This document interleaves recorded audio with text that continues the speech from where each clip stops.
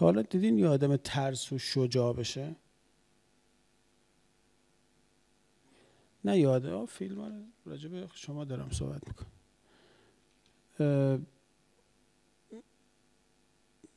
نه یه آدمی که نمی‌دونستیم شجاع یه دفعه شجاعت ازش دیدیم. نه یه آدم ترسو واقعا شجاع بشه دیگه نه ترسه. ممکنه یه آدم ترسوی کار متحورانه انجام بده اونو نمیگم. نه شجاع بشه. یا مثلا یه آدم بخیل کریم بشه. یا برعکسش یه کریم بخیل بشه. نه که ممکنه یه کریم یه جا بخل بورزه ها. اونو نمیگم ها. ببینید طرف داره دروغ میگه. مثلا یه کسی اصلا داره تکدیگری می‌کنه گدایی می‌کنه. این احساس می‌کنه داره دروغ میگه. بخل میورزه کمک بهش نمی‌کنه. اصلا بعد معلوم میشه این اشتباه کرده. اینو نمیگم. نه یه کریم واقعا بخیل بشه. یعنی یه کسی که اهل سخاوته اهل گذشته یه کسی که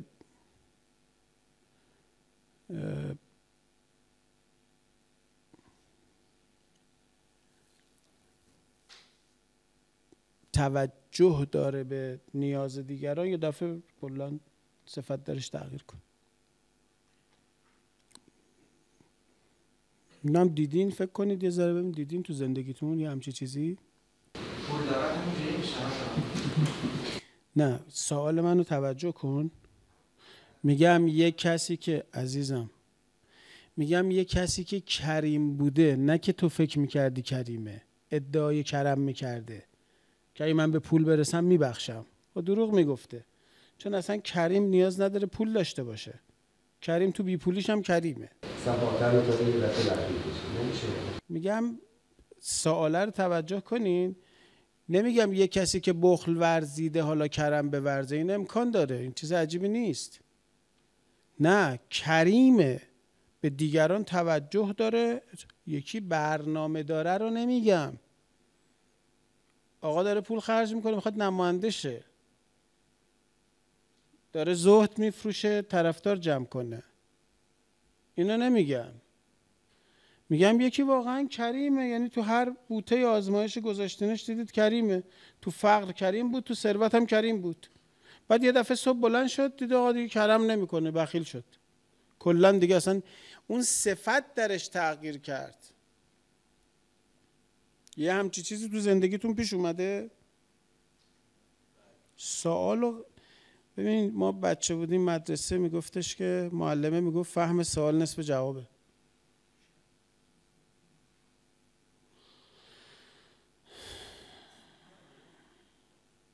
نه من دارم راجع به تجربه زیستیتون صحبت می‌کنم. بحث ذهنی نیست. تجربه اون که من تجربه کردم مواردی دیدم اما یک دفعه و یک جا نبوده. یک مسائلی تو زندگی پیش اومده از یه حالی الان به یه حال دیگه رسیدم حالا اسمش می‌ذارید مثلا نمی‌تونم. حالا سوال من که خیلی روشن بود. حرف شما رو می‌فهمم ولی سوال من این نبود. از یه حالی رفت تو یه حالی من دارم راجع به صفتی صحبت می‌کنم. میگم یه کسی مثلا شجاع بوده اینکه نظرش راجع به فلانی عوض شده. قبلا مثلا می‌گفته دین دارم الان نیست. اینو نمیگم. میگم یه شجاعی تا حالا دیدی ترسو بشه؟ بخیل رو دیدم که کریم شده نه بخیل که تو فکر می‌کردی بخیلی یا بخیل بود؟ من به شما گفتم بروز رو نمیگم. یه وقتی کسیه تو ذهن ما هست که این بخیله. ولی اصلا بخیل نیست. ما اشتباه فکر می‌کردیم. بعد توی اتفاق می‌بینیم چه کریمه این. من اشتباهات خودمون رو راجع به افراد نمیگم. تو قرآن میگه که تو جهنم این, این خیلی آیه جذاب عجیبیه. میگه جهنمی ها میگن که خدایا یه آدمایی بودن تو عهد ما اینا جز اشرار بودن از نظر ما. ولی ما اینا رو تو جهنم نمی‌بینیم. خب آخه اشرار نبوده. این شما فکر می‌کردی اشرار. شما اینا رو اشرار می‌دونستی؟ فکر می‌کردی باید تو جهنم بری. خب شما اشتباه می‌کردی؟ من راجع به خطاهای خودمون راجع به افراد صحبت نمی کنم میگم یه کسی رو تو همه بوته های آزمایش گذاشتین دیدیم بخیله. یعنی تو تمام مراتب داره بخل میورزه. دست به جیب نمیشه. توجه نمی‌کنه به کسی. نه یکی که آزمایشش نکردید بعد توی آزمایش دیده این کریم بود ما اشتباه فکر می‌کردیم. این دوتا بینش فرقه. کسی رو که آزمایش کرده بودید همه جور بخیل بود دیدید کریم بشه؟ یا کسی که کریم بوده دیدید بخیل بشه؟ یا شجاع بوده دیدید ترسو بشه؟ یا ترسو بوده دیدید شجاع بشه؟ من یه نمونه از کتابی هستش از اونجا فقط. نه نه نه. من راجع به زیستتون دارم صحبت می‌کنم. بحث نظری نمی‌کنم. میگم در زیستتون تو خانوادهتون تو دوستاتون تو همکلاسیاتون تو اقوامتون یه همچی دیدید یا نه؟ من راجع به نه فیلم صحبت می‌کنم نه کتاب نه بحث ذهنی دارم می‌کنم. اون چیز آسیب مغزی دیده بود که احساسات نه نه. اصلا ببین اصلا سوال من معلومه من چی میگم. این جواب اصلا ربطی به سوال من نداره. من به شما میگم یه آدم شجاعی داشتین تو زندگی تست زدین دیگه آقا شجاع واقعا. نه که ادا شجاعت در می آورده نه که نمیفهمیده. بچه میره ما رو می‌گیره. از رو شجاعت نیست از رو ندونستنه. نه یه واقعا تو تمام آزمایش شجاعه بهترین کس خودتونید. حالا هی من نمی‌خوام به خودتون بزنم. دارم به در دیوار می‌زنم. شما به خودتون نمی‌گیرید. صفتی در خودتون تغییر کرده؟ اینو دارم میگم. اینکه شما ذهنیتتون به آدم ها عوض شده رو نمیگم. اینکه قبلا راجع به دین چی فکر می‌کردی الان چی فکر می‌کنی رو نمیگم. قبلا حزب بودی الان شدی برانداز و کار ندارم. مثلا من به این چیزا کار ندارم. من میگم صفتی در خودت تغییر کرده.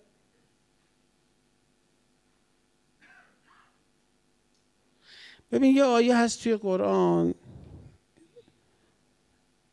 خیلی آیه عجیب و غریبیه. میگه ان علینا للهدا میگه اصلا هدایت که کار منه.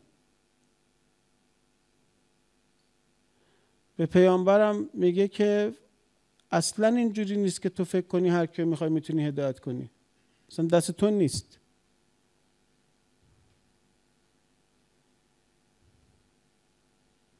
هدایت کار منه.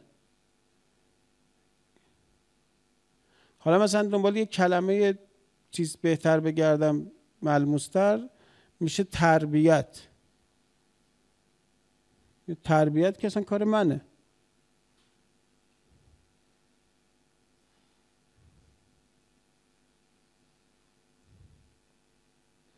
بعد این یه فرایند با جزئیات بسیار زیاد و در یک ذهنی یک پروسه عجیب و غریبیه پروژه‌ای هم نیست. نیست که آقا شروع می‌کنیم نقطه A می‌خوام برسیم نقطه Z. زمان مثلا چه می‌دونم ده سال 20 سال سی سال چی میگی؟ اصلا اینجوری نیست. راجع به عوالم صحبت می‌کنیم. اصلا راجع به این زمان اینا ده سال 20 سال سی سال اصلا حرف نمی‌زنیم. ببین اگه به این قشنگ دقت کنیم به این آیه کاری که مثلا میگم پیامبر در عربستان مرکزی کرده مثل اینه که مثلا یه بذری توی مزرعه هست ولی آب نیست. حالا یه سری بذرا سالمه یه سری پوکه. وقتی آبیاریش بکنی چی میشه؟ بذرای سالم سمر می‌گیره بذرایی که سالم نبوده اتفاقا کپک می‌زنه خراب میشه تمامش به کارش. یعنی در از چیزی که هست رو عیان کرده نه اونو سبز کرده نه اونو خراب کرده این تو خودش بوده. فقط به ن... یعنی خاک روش رو برداشته به نمایش گذاشتدش انگار کشف کرده. و این به این کشف تجلی داده. روشن شده قصه.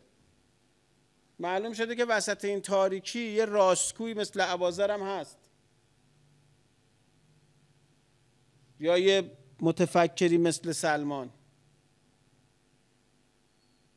یا یه آدم شریفی مثل میسم یا مثل امار فقط معلوم نبود. مثل اینکه یه جا تاریکه یکی چراغ می‌ذاره. اصلا کاری نمی‌کنه ولی همه چی روشن میشه. معلوم میشه کجا چاهه کجا راهه.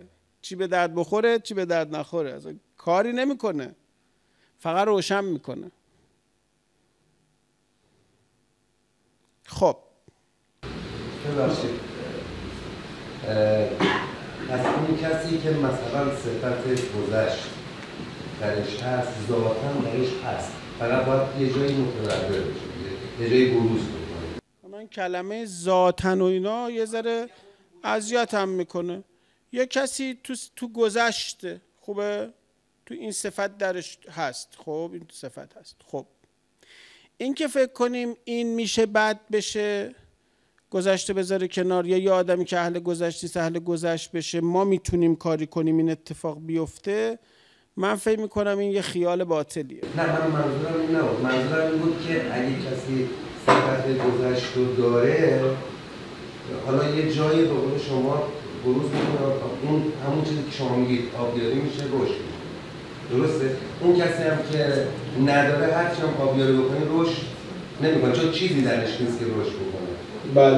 این درست متوجه شدم؟ بله. خب وقت اون تلاش مثلا من حالا پیامبر یا مثلا کسی که معلمه یا کسی که اصول اون تلاش پیامبر تلاشی نکرده برای تربیت افراد. همینو داره میگه دیگه. میگه اصلا تربیت که یه فرایند اصلا شما حالا بذارید بحث ادامه پیدا کنه معلوم میشه پیامبر داشته چیکار می‌کرده. ولی این که فکر کنیم آقا همین position ی که ما گرفتیم این کلا... چی بهش میگن؟ قیافه ای که ما باز خودمون درست کردیم. که ما مربی جامعه ایم و یا علی مدد. یالا بریم تربیت کنیم جامعه رو. میگه اصلا چی میگی؟ این آیه قرآن چی میگه؟ میگه ان علینا للهدى هدایت که کار ماست به پیامبرم گفتیم عمرا اگه اینکه تو بخوای هر کی دوست داشته باشی هدایت کنی غیر از اینکه یه مشکل بزرگتر هست ما یه حرفی یعنی یه حرف منطقیه چیزی هم نمی‌خواد آقا شما روشنایی از کجا می‌فهمید اگه تاریکی نباشه روشنایی فهمیده میشه. مریضی از کجا می‌فهمید؟ سلامت رو کجا می‌فهمید؟ مریضی. مریضی نباشه سلامت رو می‌فهمید؟ امنیت رو از ناامنی. ناامنی نباشه امنیت رو می‌فهمید؟ سیاه نباشه سفید رو می‌فهمید؟ قد کوتاه نباشه قد بلند رو می‌فهمید؟ اصلا چیزی هست ما تو این عالم بدون ضدش بتونیم بفهمیمش؟ شما فرض کن بتونی همه آدم های بخیل رو کریم کنی. اصلا کرم دیگه معلوم میشه. اصلا کرم دیگه دیده میشه. اینکه همه آدم های ترس رو شجاع کنیم یعنی شجاعت رو به این ببریم. چون دیگه شجاعت دیده نمیشه معنی نداره اصلا. شجاعت کجا معنی پیدا می‌کنه؟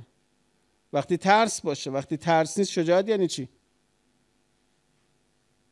اگه شما می‌خوای همه ترسوها رو شجاع کنی در اصل می‌خوای شجاعت رو این ببری. این اتفاق میفته دیگه. مثل اینکه یه کاری کنیم همه جا روشن باشه. الالعبد دیگه اصلا میشه روشنایی دید. شما میش روشنایی می‌فهمید چون تاریکی رو دیدی. فرض کن یه جا چشم باز می‌کردی تاریکی وجود نداشت. شما اصلا روشنایی دیگه میفهمیدی؟ متوجه نمی‌شدی دیگه. مثلا همه چیز این عالم با ضدش شناخته میشه. وقتی ضدش از بین ببری دیگه اون اصلش به این رفته اون دیگه دیده نمیشه اصلا که.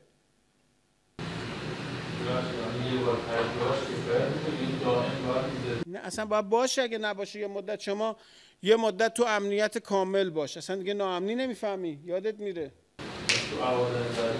حالا حالا حرف داریم. حالا دیگه نریم یه جا دیگه. من دارم چی عرض می‌کنم؟ می‌خوام حالا توضیح میدم اصلا بحث چیه. ببین ترس آدمی که میترسه آیا شجاعت رو می‌تونه بفهمه؟ می‌تونه ببینه؟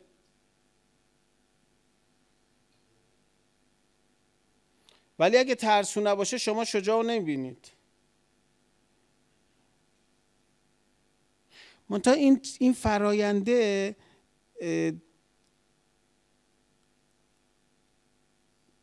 وقتی حرکت می‌کنه حالا حرکت اینا این کلمات دیگه همش چیزیه. این کلمات دیگه همش خیالیه چون که اصلا این حرکت و این حرفات دیگه حالا توضیح داره. بعدا گیر لفظی ندید به من علکی داریم می‌خوام فقط مفهومه برسه. ببین ترس اگه نباشه شجاعت دیده نمیشه. اما اینجا یه حرفی براتون زدم یه بار. گفت ما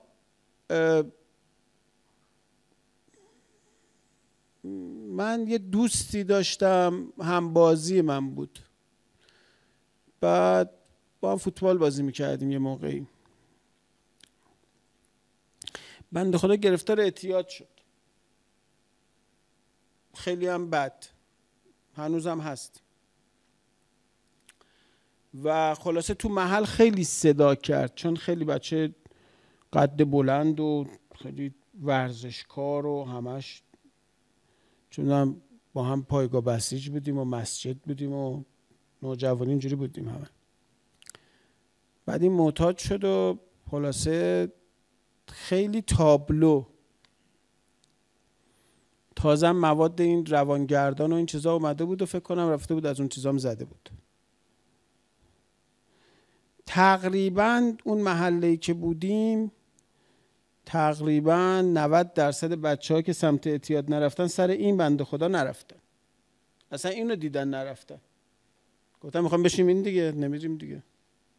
یعنی انقدر که این به مبارزه با اعتیاد تو محل ما کمک کرده نه پایگاه بسیج ما کمک کرد نه مسجدمون نه جلسات قرآنمون نه هیئتمون نه نیرو انتظامی نه هیچکی دیگه. خودش یه تنه جور همه اونا رو کشید. یعنی یه تنه باعث سلامت محل شد. یه آدم که تو ذهن همه ما توی سلامت و ورزش صد بود که ما تلاش می‌کردیم مثل اون بشیم تو ورزش هیکل درست و حالا موقع که ما نوجوان بودیم دیگه باشگاه نمی‌دونم بدنسازی این چیزا نبود. اگه کسی ماهیچه پیچیده ای داشت و سیس پکیج زده بود بیرون سر ورزش زیاد و سر دویدن و چه می‌دونم تناب تش دیگه ما برای بدنسازی فوتبال می‌رفتیم کشتی. دیگه ببین موضوع چی بود؟ مثلا می‌رفتیم کشتی برای بدنسازی فوتبال. وزنه به کار نبود که. که مثلا قدرت بدنیمون بره بالا بتونیم تو فوتبال مثلا بهتر بازی کنیم. بعد این از اوج ذهنی ما خیال ما یه دفعه شد معتادی که الان کنار خیابون وای میسه مقاله می‌خونه. من نمی‌دونم مثلا با کی صحبت می‌کنه. مثلا مثلا یه جمعیت جلوش نشستن و یه کاغذ اینجوری وا می‌کنه و شروع می‌کنه مقاله خوندن و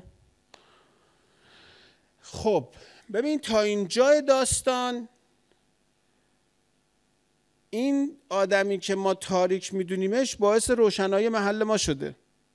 ولی این تا اینجای داستانه. تا ته داستان نیست.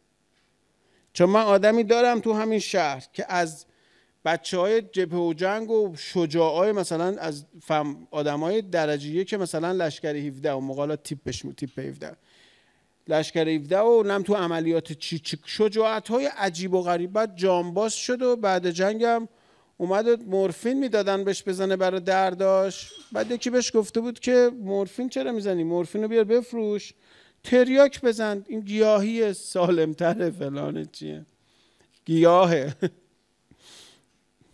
خواسته بود فعالیت گیاهی کنه.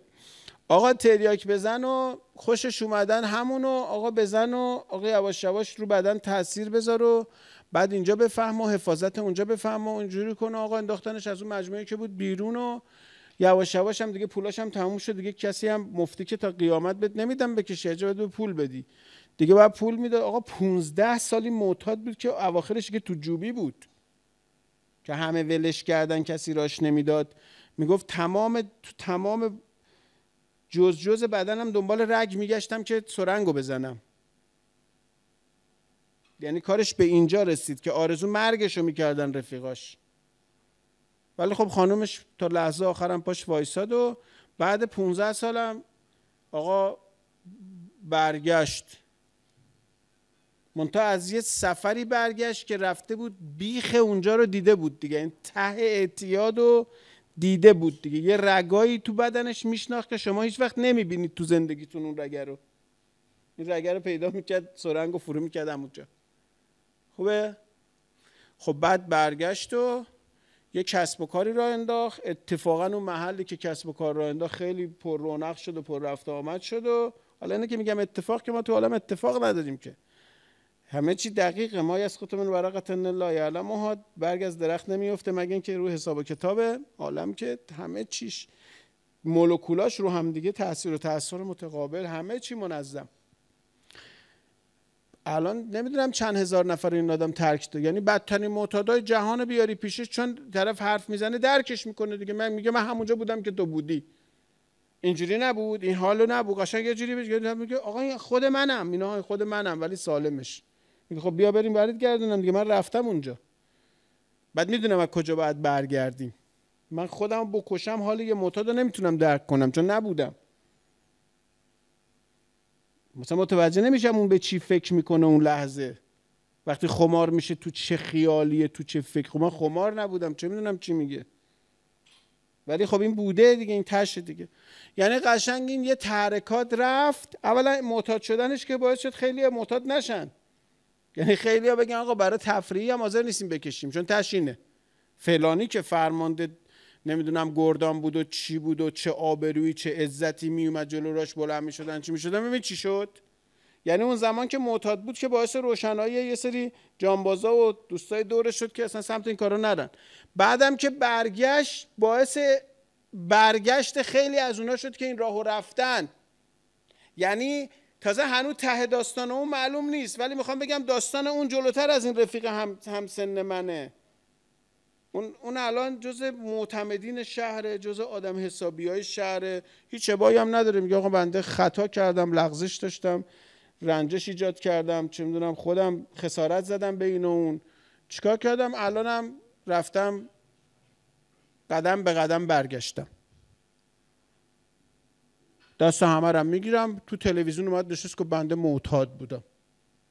تموم شد رفت. معتادم یه مریضی مریضی منم گرفتم. الانم ترک کردم خدمت شما. حرفو می‌گیری؟ می‌خوام بگم داستان این بنده خدا یه ذره از داستان همکلاسی همبازی من یه ذره جلوتره. یعنی می‌خوام بگم مثلا قضاوتش نکن که کجاست. مگه داستان تموم شده؟ اما این تاریکی نور ایجاد کرد. حالا آیا در خودش هم نور ایجاد می شود خب بالا وایسه ببینیم تشو دیگه. من که نیدم که.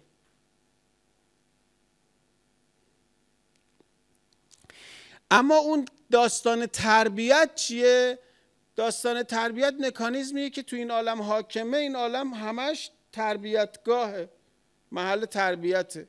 تمام اختیاراتی که بهت دادن تمام موانعی که سر راهته همین که هر چیزی رو با ضدش می‌شناسی همین قوه لامسه چشایی بینایی شنوایی همین باور تن همین عالم دنیا همین عوالم دیگه اینا همش برنامه تربیته. این چیزی نیستش که تو بگیری دست بگی من مربی من تربیت می‌کنم دیگران. اصلا نمی‌تونی تو. چی میگی؟ پس معلومه تربیت نمی‌فهمی یعنی چی. متوجه نمیشی که این یه مکانیزم عجیب و غریب اصلا تو تحمل این چیزا رو نداری. ببین شب حالا من مثال مذهبی می‌زنم چون آقا بنده محقق دینی هم دیگه. که نشود آقا چه از اسطوره های ایران نمیگه خب من تاریخ ایران متخصص تاریخ ایران نیستم که خواهی من. من یه محقق دینی هم مثالاشو از اینا می‌زنم. مثلا چه گیریه؟ دنبال چی میگردید؟ الان من دم یه میگن آقا ما زرتشت زد پیامبر ما زرتشته.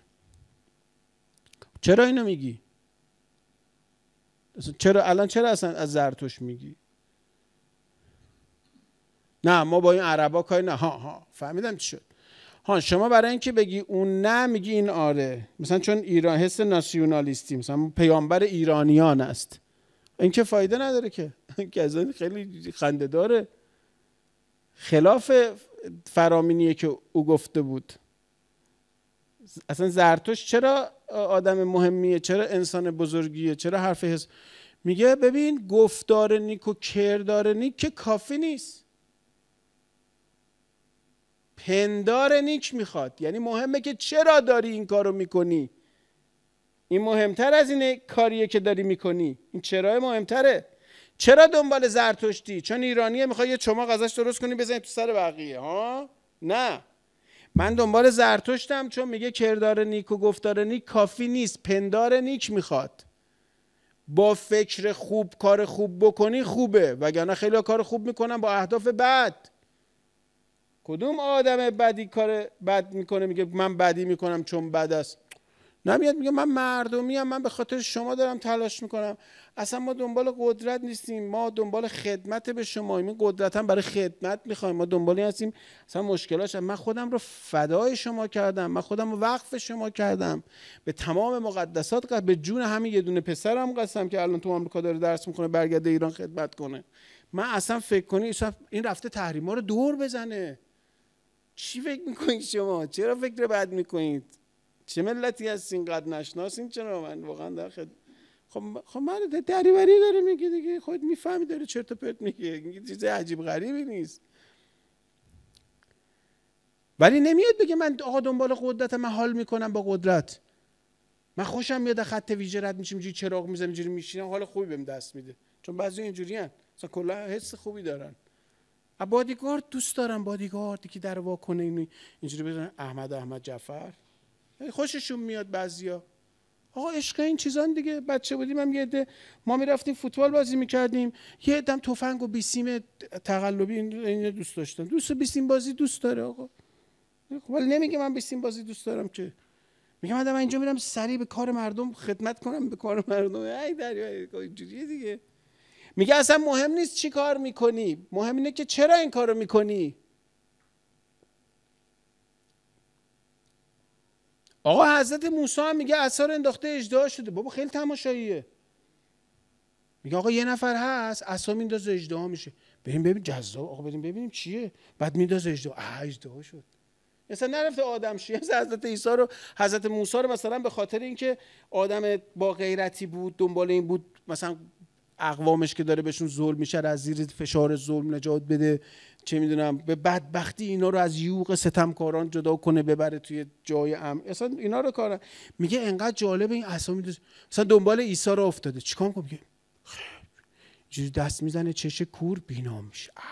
قباله خب جذابه دیگه دست جذاب نیست؟ یه نفر دست بکشه کور اینجوری چشاش واشه. مثلا یکی مرده بعد میگن یه کس میاد اینجوری راه میره اینجوری دست می‌کشه بعد مرده زنده. آه. مرده زنده شد. این دنبال عیسی را افتاده خوشش اومده که مرده زنده میشه کور بینا میشه کچل مودار میشه چه می‌دونم. همین کامی کارا می‌کرد دیگه مثلا مریض خوب شد. اصلا دنبال عیسی نیست چون نماد محبت نماد مهر نماد دوست داشتن نماد سو اصلا این چیزها رو کار نداره. میگه آقا آدم جذاب خورا عجیب غریب می‌کنه. مثل اینا که دوری شعبده باز جمع میشن.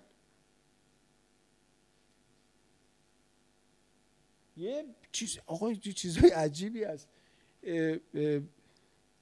یه بچه داشته بازی می‌کرد. چای خوردین شما؟ نخوردین؟ بخورین من خب مشکلی دارم خواستم یه چیزی بخورم. ولش کن خورماشم نمی‌خورم که. وقت شما نگیرم. من اومدم جلده گفتم یه چایی به من بدید. نمی‌دونستم اینقدر طول می‌کشه. نیاورد کسی یه پودری قرار بود بیاره نیاورد. نیاورده من از هفته پیش دارم. اونو شیرم گفتم گرفت درست کن. نه داداش نه. نه گفته بودم چای ماسالا بیاره. یعنی قرار بوده که بیاره. گفت میارم حالا خودم دارم. هفته پیش دارم درست کردم. شما دفعه بعد یه فلاکس چای با خود بیار.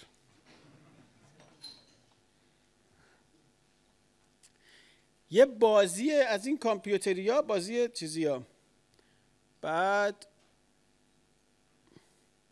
مثلا من خودم 23 4 سالم بود یه بچه بود تو فامیل ما این دستگاهشو داشت. بعد خب می‌دونید مثلا به بچه ها بزرگترها راه نمیدم ما می‌رفتیم خونه اینا این بازیه رو انجام می‌دادیم. بازی می‌کردیم. بعد خب الان همون بازی همچنان هست ولی یه ذره حالا گرافیکش مثلا بهتره. حالا نمی‌خواستم بگم چیه چیزی بود. حالا سگا هم نبود یه ذره پیشرفته تر بود. بعد همین دیروز دیدم بچه داره بچه من داره بازی می‌کنه تو خونه اینا. گفتم بیا با هم بازی کنیم دو دستش کن با هم بازی کنیم. بازی کنیم و بعد وسط بازی دیدم این بغلای زمینه چقدر جذابه. اصلا من نیده بودم اینا رو. آره آره. اصلا من اینو نیده بودم. من صد بار این بازی رو بازی کردم. اصلا من این بق... فقط دنبال این بودم که مثلا برنده شم و بقیه بزنم جلو. حالت ماشین بازی مثلا بزنم جلو. اصلا نگاه نکردم این بغلای زمین چه خبره. دیدم ای کشتیه بعد نمی‌دونم کوسه رد میشه یه چیز ج... اصلا یه چیز جذابی. دادم به بچه گفتم آقا تک دسته بازی کن فقط من این بغلا رو ببینم. ای من چطور رو ندیدم؟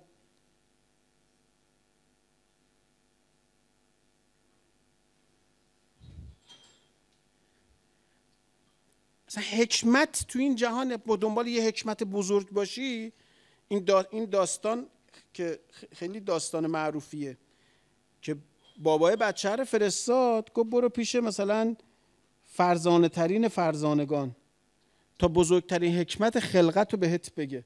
این هم رفت پیش فرزانه. این پیش خوش میگه فرزانه ترین فرزانگان الان گوشه خیابون و یه لنگی بسته مثلا جلوشو. یه کشکولی بغلش و ریش بلندی داره و مثلا داره پیپ می‌کشه و همجوری نگاه می‌کنه به افق و بعد اینجوری مثلا چپش توی لباساشو اینجوری فکر می‌کرد دیگه. ما میگیم آدم فرزانه اینه دیگه. الان من یکی از جرمای خودم پیش یه دینه که تو کار می‌کنی.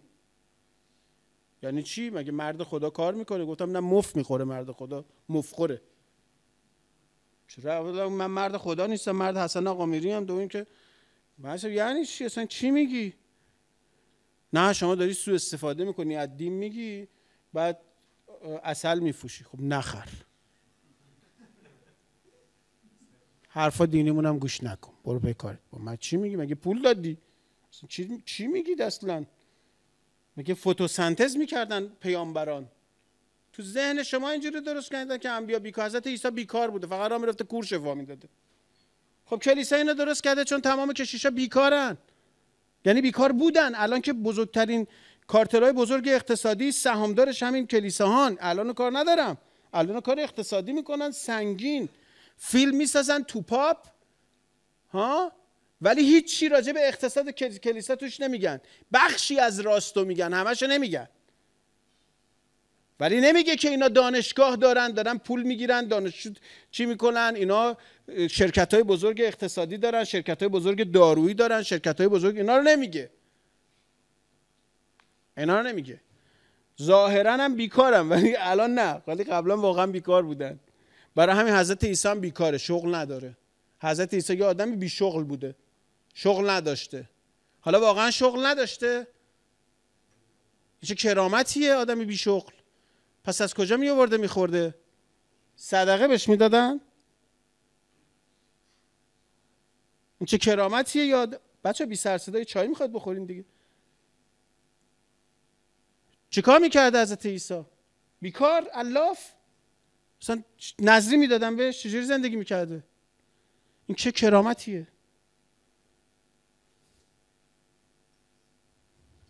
بیکاری اکی تا حالا کرامت شده؟ من نفهمم حالا خب اینجوری درست کردن تو ذهن شما. که آقا بیکار. بعد مثلا ما هم که کار می‌کنیم مثلا آقا کار می‌کنیم این یه چیز لکه ننگی می‌دونه. که شما پس کی نماز می‌خونید؟ کی عبادت می‌کنین؟ کی کتاب می‌خونین؟ هر وقت بیکار میشم. تمام شد رفت. اگه یکی از شما هزار تومن پول تا به من داده بیاد بگه من ده هزار تومن بهش پس بدم. اگه نه اینکه خب من آقا یه آدمی با کار آدم با کار کنن دیگه. این تازه کمال این نقص نیست که. حسین می‌خواد سر صدا کنه عطاشو به لقاش ببخشیم. اینو بزن اونوری ملت سردشون شه. آره. یه گیری داره باید چیزش کنیم. چی بهش میگن؟ سرویسش کنیم اینا اینا بیا بزن اونوری رو به منه من یخ زدم اینجا. بزنش اونور رو به ملت شریف بزن رو به فراد فراد یخ بزنه. خودشو بلند کرد. اونور اون چیز داره با پره داره اون لوله داشت انشالله. خیر انشالله. بله. اگه این بازی تموم شد من ادامه بدم به صحبتم.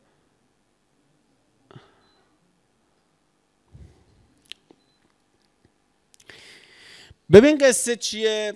برگردیم تو صحبت.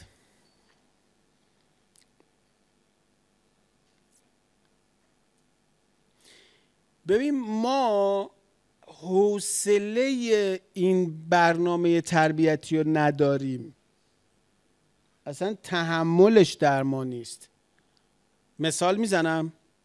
مثال دینی. برگردم سر بحث. از کجا رفتیم یه جا دیگه؟ از اینجا. اومدم این مثال براتون بزنم. شما شب آشوراست و شما نمی‌دونید فردا چی میشه. مثل الان که نمی‌دونیم فردا چی میشه. و نمی‌دونیم عوالم دیگه چه خبره. یکی مرد چی شد؟ اینا نمی‌دونیم دیگه. حالا فرض کن شب آشوراست و شما نمی‌دونی فردا چی میشه. خدا به شما میگه که اینجا الان اختیار میدم دست شما. هر کاری شما بخوای اتفاق میفته و هر بلایی دلت بخواد می‌تونی سر این کوفیان و سپاهیانشون بیاری. شما چه تصمیم می‌گیری؟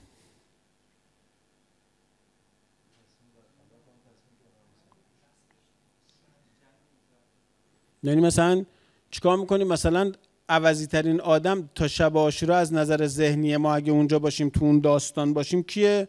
مثلا هر اصلا همه گرفتاری این درست کرد. این هم, هم حضرت بهش لطف کرد حالیش هم نشد انگار. تشنه بود بهش آب دادیم اومده جای ما رو زده دور از آب. چرا؟ چون ابن زیاد گفته خیمه رو یه جا بزنن که نزدیک آب نباشه. مردی که ما بچه بامونه حالیت نیست. جای ما رو بردی تو انسانیت سرت نمیشه. تشنه نبودی ما ولت کرده تشنگی مرده بودی. به خودت آب دادیم به اون لشکریان نامرتر خودت هم آب دادیم به اسباتون هم آب دادیم. حالا اومدی ما رو بردی جا خشک بچه ها تشنه شدن میگی نه آب نمیدیم چون ابن زیاد گفته تو آدم نیستی انسان نیستی تو به دمادر نداری. اصلا تو حلال زاده ای؟ کاری که ما مذهبی غیر از این میگیم. تازه من خیلی لطف می‌کنم. چه تصمیمی می‌گیریم؟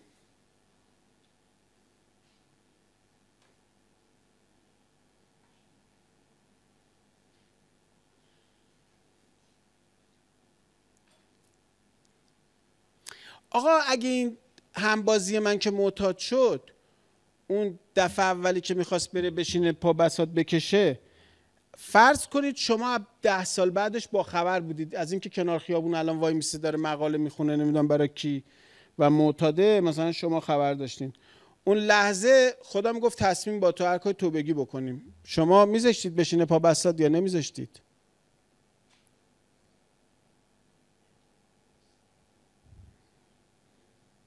احتمالا نمیذاشتیم. بعد می‌دونید ممکن بود همین الان خود من جز یکم معتادین محل باشم؟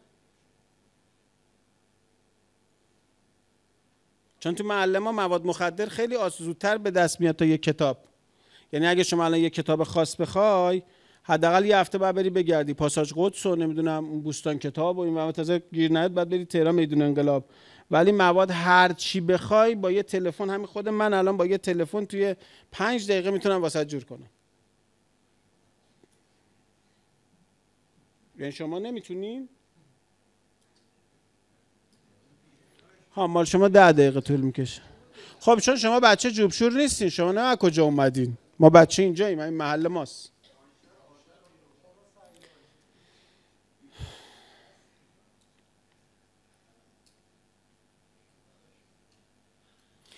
حالا شیرین کاریاتون تموم شد یه ذرم فکر کنید به بحث برگردین تو بحث. آره مثلا افتخار نیست که اینجا پایین شهره. خیلی چیز بدیه. ولی واقعیتی که بوده و هست همچنان هم هست. همچنان هم هست. متاسفانه این جای تاسف داره جای تقدیر نداره که. ما میگیم بچه پایینی افتخاری نداره که ما بچه پایینی بچه پایین بالا نداره که. از همه بحثمون همینه داریم میگیم. خب همین شرایط زیستی ما اینجوری بوده.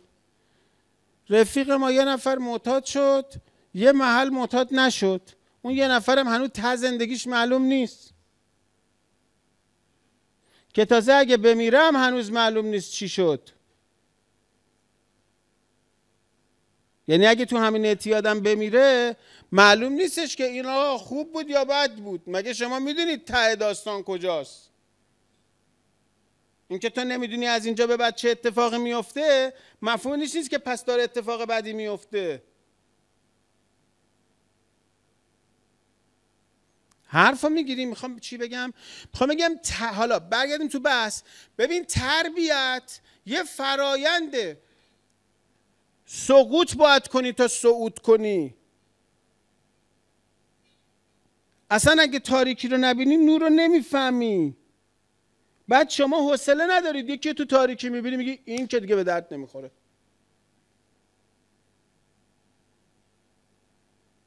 ببین آقا خدا وکیلی حرف رو بگیرین. بحث لفظی و کل اینام نکنید. کل کل نندازین دیگه. می‌خوام دو تا کلمه حرف بزنیم. یه چیزی یاد بگیریم دیگه. گیر ندین دیگه. بازی لفظی با من نکن. خوشت میاد اینجا. مثلا میگه ما هر کی هر چیزی بخواد بگه بگه تو هم حالا هر چیزی دلت می‌خواد بخوای بگی. آقا زره گوش کن فکر کن. حرف رو بگیریم بریم. آقا الان اگه شما می‌خواستیم من من امشب داشتم به پدرم می‌گفتم. ما یه اصلا شما این حرفا رو قبول نکنید فقط بشنوید.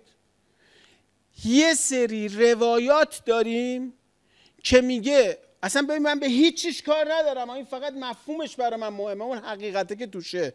اصلا اصل اتفاقه رو ولش کن اصلا برای من اهمیت نداره تو قبول داری یا قبول نداری. من اون حقیقته برام مهمه. میگه وقتی امام زمان ظهور می‌کنه اولین کسایی که به امام زمان ایمان میارن کیان؟ میگه جوانان مسیحی. آقای بهجت این حرف رو ده بار زده. این روایت های خونده. بعد شما امروز نگاه می‌کنی می‌بینی یک جنایتی اتفاق افتاده در غزه. اصلا حاج آقا شما طرفدار حماسی من طرفدار ظلم هیچ ظالمی نیستم. هزار بار باید بگم گیری افتادیم و من به حماس چی کار دارم اصلا؟ نه اگه اونا حمله نمی‌کردن اینا آخون غلط کرد حمله کرد. اینم غلط کرد آدم کش. عجب گیری کردیم. شما یه ظلم داری توجیه می‌کنی یه نسل کشی داری توجیه می‌کنی که فلان کسک فلان حمله رو کرد خیلی غلط کرد. اون غلط کرد اینم غلط کرد. بلی کن. یه, یه جنایت اتفاق افتاده بعد خیلی خیلی تلخه. ببین چون الان تو جامعه ما نسبت به رسانه بیاعتمادی هست رسانه های دولتی. و بعدم مثلا یه جو بدیه که آقا مسئولین ما از نظر خیلی از مردم اینا همش دروغ میگن ولی وقتی میگن به فلسطین کمک کردیم راست میگن. من نمی‌دونم چه جوریه. اینا بقیه وقتا دروغگو اینجا راستگو میشن. از نظرش یه ادعی چون من, من خیلی اعتقاد ندارم که خیلی خودشونو دارم می‌کشن برای فلسطین. همونطور که نمیشه که شما با ظلم مخالف باشی اینجا مخالف باشی اونجا موافق باشی. آدم که با ظلم مخالفه همه جا مخالفه. مثلا یه با و هوا نشون میده که همچه خیلی خبری نیست. گفتم چرا مهمه؟ چرا؟ آقا ما طرفدار فلسطینیم چرا؟ چون ظلم داره اتفاق میفته یا چون position سیاسیته یا نه؟ چون دنبال قدرتی الان. چرا مهمه دیگه. پس اصلا من کاری به حماس ولی دور بابا. داره نسل کشی اتفاق میفته در غزه. داره جنایت میشه. اصلا شما توجه نمی‌کنید خیلیاتون بهش. به خاطر اینکه به رسانه های دولتی اعتماد ندارید خودتون هم نمیرید شبکه اجتماعی نگاه کنید. بابا دارن آدم می‌کشن. بابا خلبان آمریکایی خلبان آمریکایی یعنی کسی که در ارتش امریکا رفته درس خونده خلبان شدن هم کار آسونی نیست. که فکر کنی مفتی همینجوری الکی الکی خلبان شده. خلبان شده درس خونده خلبانه. ببین به کجا رسید. مثلا کارشو تایید نمی‌کنم سر هم که ویدیوشو گذاشتم سه ماه live اینستاگرام هم اینستا بسته که تو ترویج خودکشی کردی. اصلا متن هم بر نداشته ترجمه کنه ببین من نوشتم این کار خوب نبود. من دارم از اون حقیقت درونش حمایت می‌کنم نه از شکل کارش. بله خودکشی چیز خوبی نیست. بعد تا یه دو هفته هم هی واسه من پیغام می‌داد که بیا برو تو این صفحه. می‌رفتم میدم نوشته می‌خوای آرامش بگیری؟ این شش تا کار انجام بگم من می‌خوام خودکشی کنم. هوش مصنوعی دیگه. زده مثلا خواست آرامش بده به چیز. بعد گفت خب لایوت هم میبندم که ترویج خشونت نکنی فعلا. ما والا کلا سرش می‌ذاریم. با صفحه کاریمون میایم با این میریم. اینجوری میش دور می‌زنیم تحریما رو. آقا خلبان آمریکایی بلند میشه میره جلو سفارت اسرائیل تو نیویورک. خودش خودشو آتیش می‌زنه. بعد من فیلمو کامل دیدم تا لحظه آخر که داره میفته اظهار پشیمونی نمی‌کنه همچنان داره شعارشو میده. که چی؟ که داره نسل کشی میشه. من نمی‌خوام تو این نسل کشی شرکت کنم. شما پس ببین اتفاق تلخی اونجا داره میفته که هر کی چهار تا صحنه فیلماشو ببینه که چجوری بچه ها کشته شدن. اصلا صحنه‌ای که از زیر آوار بچه ها رو در میارن ببینی که یعنی ذره در ما انسانیت باشه میریزه ما رو به هم. خوبه؟ ولی من یه حرفی به شما دارم. می‌خوام بگم این اتفاقی که تو دانشگاه های آمریکا و کف خیابون های اروپا و کف خیابون های استرالیا حتی در کانادا با تمام بازی سیاسی که تو این کشورها وجود داره سیاست ندارایی که سالها خواستن مردم یه مدل دیگه باشن. مردم بریزن تو خیابون برای سیاست های اونا. چه اتفاق چقدر شما موج انسانیت دارید ببینید توش؟ این موجه چجوری اتفاق می افتاد اگه این همه تاریکی نبود این موجه کجا بود؟ مثلا نمیگم این کارو بکنیم. آقا ببین جون مادراتون من دارم رو شما حساب می‌کنم باتون حرف نگیم پس حاج آقا بریم آدم بکشیم که یه عده ترحم کنم بابا من دارم نظام عالم رو به شما میگم. این که طرف می‌تونه یه موشک رو بزنه دکمش رو بزنه میره می‌خوره تو خونه وسط سفره بچه منفجر میشه بچه تیکه باره میشه. این اختیاری که به داده اینو متوجه باش. اینکه تو از اختیارت سو استفاده نکن یه بحث دیگه است. مثلا نمیشه یه کاری کنه خدا تو این عالم که هیچ بچه ای نمیره. اصلا بمب روی هیچ بچه ای تاثیر نذاره. دیدید فیلم های علمی تخیل درست می‌کنن؟ مثلا تیر به بچه نمی‌خوره میاد جلو بچه تق میفته زمین. میگه تیر این بچه ها چیزن سیفن. اینجا سیفن اینجا به بچه ها کار نداریم. برای بچه اتفاق نمیفته. این این تفنگه بچه نمی‌کشه. مثلا این فیلم های تخیلی درست. پس چرا می‌ذاری کشته بشه بچه؟ بشین فکر کن یه ذره فکر کن. این میگه ببین این سیستمی که من چیدم تو این عالم تو اصلا تحملش نداری. برای همین گفتن دخالت نکن. الان چهار تا صحنه ببین این حب بغض سیاسی و دعوای چپ و راست و شمال جنوب و جمهوری اسلامی و انقلاب و ضد انقلاب اینا بریز دور. این دعواها رو بذار کنار. خودت و انسانیتت. چهار تا از این صحنه ها بهت نشون بدم. خودت با انسانیت تنها بشی. ممکنه بگی این چه کسافت کاری؟ بعد میگم خب حالا من اختیار عالم میدم به تو. تو چیکار می‌کنیم من زیر رو می‌کنم. پس چرا زیر رو نمیشه؟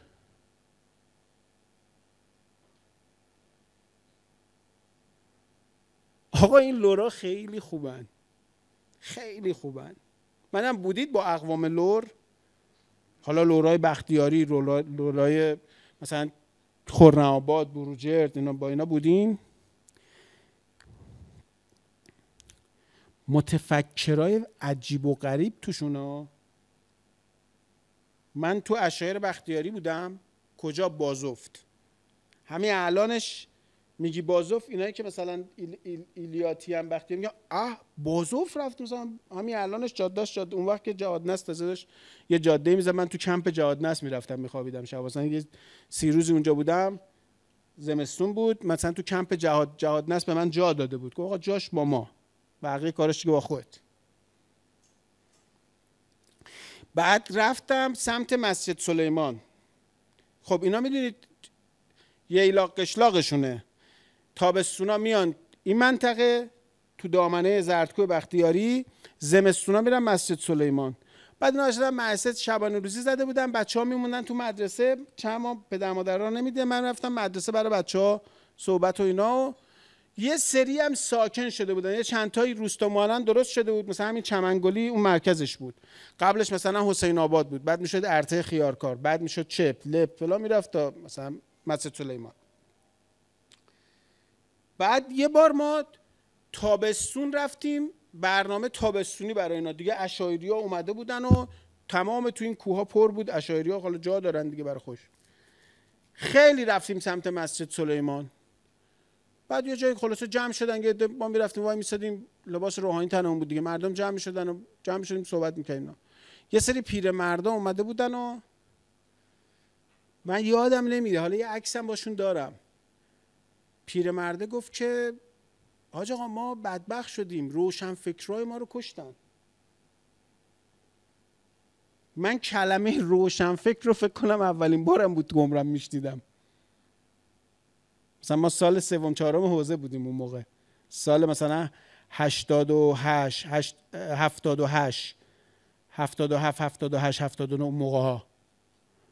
من اولین بار بود کلمه روشنفکر شاید میشنیدم. یعنی حالا همه اینا رو گفتم برای این. بلوره گفته بود که اختیار جهان رو بدن چیکار می‌کنیم؟ گفته بود میالم همینجوری که ها. همینجوری میزن بمونه. درستش همینه. دست بهش نمی‌زنه.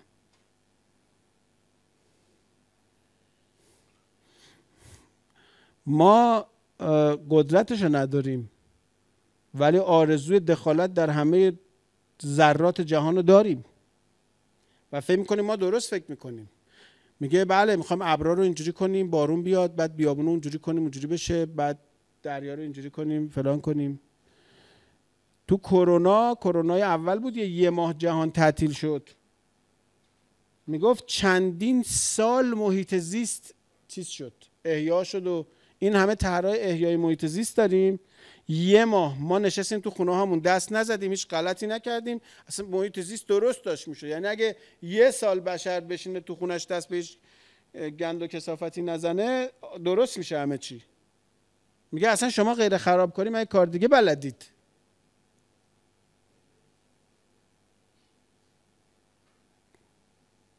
فقط فکر می‌کنید خیلی بلدید. شما حوصله تربیت ندارید. من یارو 15 سال میبرمش تو اعتیاد بیخ اعتیاد که دیگه سرنگ مشترک و تو سرنگ دنبال نمی‌دونم رگ زیر مثلا پاش بگرده و نمی‌دونم چیکار کنه و میکنمش تو بیغوله ها و تو طویله ها و سنتی سنتی قرقاتی کنه بزنه. من میبرمش اونجا بعد از اون کسافت خودم درش میارم. یه کاری می‌کنم بشه چراغ راه هدایت. شما اصلا حوصله این چیزا رو ندارید. شما همون سال اول که معتاد شد به زنش میگید که اینو طلاق بگی برو بابا بچه‌هاتو نجات بده و اصلا آدم نیست و فلان بعد تو خونه هاتون راش نمیده و فلان. شما اصلا این کاره نیستید. بابا شما قاطی می‌کنید تو خیابون تو گوش دختر مردم. چه مثلا مواد بیرونه بابا اصلا می‌دونه اصلا این موهاش بیرون اولا که تو فکر می‌کنی می‌تونی هدایت کنی اصلا اینجوری نیست. یک. دو. تو حوصله دو دقیقه صحبت کردن نداری. اکوره در میری. تو حال داری پای که من یادم ما یه موقعی مثلا گفتیم امر به معروف نهی از منکر. بعد یه استادی بود تو حوزه عالمی بود. حالا استاد که ما نشاگردش که نبودیم هیچ وقت. شاگردونه که استاد درش که استعدادی می‌بینه میگه بیا پیش من یه چیزی یادت بدم. الحمدلله هیچ کسی استعداد در ما ندیده. من شاگرد هیچکی نیستم. راحت. استفاده می‌کردیم از بزرگان علما اینا که دم دستمون بود بهش می‌رسیم ولی این که من میگم من شاگرد فلان من شاگرد هیچکی نیستم آقا. خیلی علمی میگم اینو ها یعنی خیلی راحت میگم اینو حالا. من بعضیا دو روز رفته نماز آقای بهجت بله ما در جمع شاگردان آقای من برای آقای بهجت یه دونه شاگرد سراغ ندارم. یه دونه. یه دونه شاگرد سراغ ندارم. یه فیلمی هست اون روزی که خلل لباسم کردن اینا دادگاه ویژه. گفتم بیا کارت داریم. رفتیم گفتن لباساتو بکن. خیلی جذاب بود. آره. بعد ما اومدیم بیرون و حالمون هم خوب نبود. چیز نبود. چرا اینجوری کردن اینا. مثلا این چه کاریه فلان. ما اومدم رفتم دم حرم. که یکی از دوستام من فیلم گرفت اینا. بعد برمیگشتیم. حال دیگه نمی‌تونم خیلی آدرس دقیق بدم. ولش کن آقا. آره برای من بنده خدا در صد حالا یه کسی رو دیدم تو مسیر خیلی اتفاقی دیدم اینا. این بنده خدا مسجدی که آقای بجت توش نماز می‌خوند این هم اونجا یه کاری انجام میده. یه کاری که بهت میگم نه که تو مثلا برای مسجد اصلا نمی‌تونم بگم چی کاری. یه کاری که هیچ ربطی به مسجد نداشت. همه فکر می‌کردن یه آدم مثلا عادی نشسته این گوشه مثلا این کیه. بعد اتفاقا این من رو دید. گفت چطوری صد اصلا خوب این آدم چاکرم. همین اصلا بدون هیچ مقدمی گفت می‌دونی آقای بجت شاگرد نداشت که؟ گفتم آره می‌دونم. چون همچنان تو مسجد می‌دیدیم زیاد می‌رفتیم یه وقت نماز و اینا. گفت می‌دونی که ایشون شاگرد نداشت؟ گفتم آره می‌دونم. شاگرد نداشت می‌دونم. شاگرد که استاد صدا کنه. کیو صدا کرده بودن؟ حرفا چی حالا؟ معجزات ایشون اینه که صبح مثلا درس مثلا چه می‌دونم 100 نفر 200 نفر می بعد از اونها که به سی چل تا بعضی وقتا به 4 5 تا می‌رسید. وقتی از دنیا رفت من تا الان 2000 تا شاگرد خصوصی براش پیدا کردم. میگه ما شاگرد خصوصی ایشون بود. طرف میگه ایشون منو بو کرد و بو نماز صبح نمیدی.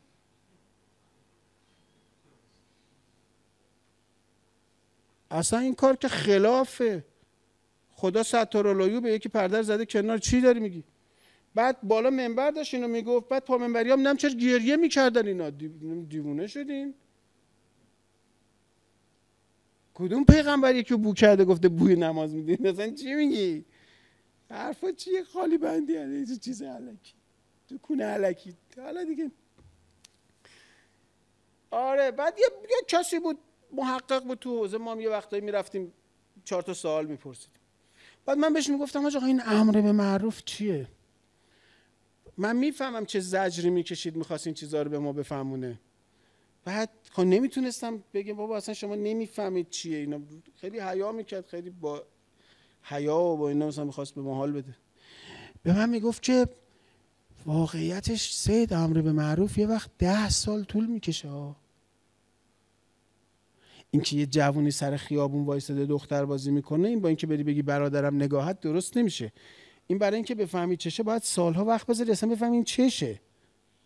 بعد که فهمیدی چشه بعد مثال می‌زد به من می‌گفت یه کسی میومد اینجا خونه ما می‌رفت و من میفهمیدم یه حال بدی داره که حتی رو منم تاثیر می‌ذاره یعنی حالم بد میشه. میگم من دو سال باش رفاقت کردم بفهمم چشه. تازه بعد دو سال که فهمیدم چشه که یه چیز خیلی بدیش بوده گفت تازه حالا وقت گذاشتم میدم خب حالا چجوری اینو درمان کنم؟ حالا همه درد دارم که من نمی‌تونم درمان کنم باورم چی؟ یعنی کی حوصله؟ دو سال یکی رو ویزیت کنیم. شما دکتر که پول میدی میری مثلا دیدی بعضی دکترها که از قبل نسخهشون آماده است. اونا که من نمی‌دونم علم غیب دارن. بابا یه دقیقه دهن ما رو یه نگاه بکن. بعد جای دوری نمیره. ما حس خوبی بگیریم. میگیم این دکتر سرش نمیاره بالا. میگه بله این یه چیز ویروسه. این یه هفته شما چی کنی نه این سرومرم بزن. می‌خوای تقویتی بدم؟ اما می‌پرسی؟ از نظر من که پنج تا مورفین هم بزن توش. می‌زنی؟ خب مرد حسابی من چرا می‌پرسی؟ ولی خب دیدی بعضی دکترها خیلی وقت می‌ذارن و ولی همونم که خیلی وقت می‌ذاره آقا یه رو 20 دقیقه نیم ساعت تش تو بهترین حالتش. بعد بخوای وایسی میگه داداش برو دیگه من ویزیت کردم. اینها اینه. این مریضی رو داری. آقا برای سرطان هم والا ده بار میفرستن آزمایشگاه و فلان اینا و یه جلسه و سر و تش تو دو هفته بهت میگن سرطان داری. غیر از اینه؟ یعنی برای تشخیص سرطان دو هفته وقت می‌ذارن تمام. میگم دو سال واسه یارو وقت گذاشته ببینه چشه. کی حوصله‌شو داره؟ بعد پولی نیست که. پول نمی‌گیری که هیچی. پولی نیست که. ما حوصله این کارا رو نداریم. بعد میگه نه. تازه تو چیزی که بوده رو می‌تونی درش ظهور ایجاد کنی. این طلایی بوده که افتاده بوده توی مزبله توی زبال دونی توی چای مستراب. حالا اتو چای مستراب درش آوردی دیدی بهش کسافت چسبیده. ولی این تلاست تو نمی‌تونی تلاش کنی سنگو. این طلا بود. تو توالت افتاده بود. تو فقط دست کردی در وردی حالا شروع کردی اینو تمیز کردن نجاستش شستی تمیز کردی ضد عفونیش کردی فلان کردی اینا تلاس ببین طلا اگه تو توالت بیفته می‌تونی دراری کسافتشو بشوری. تو نمی‌تونی سنگو طلا کنی. کاری که می‌کنی اینه.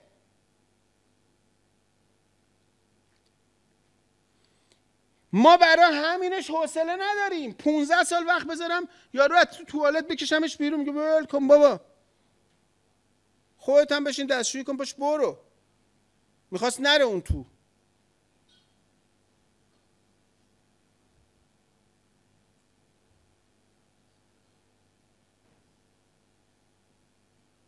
آه خیلی عجیبه ها.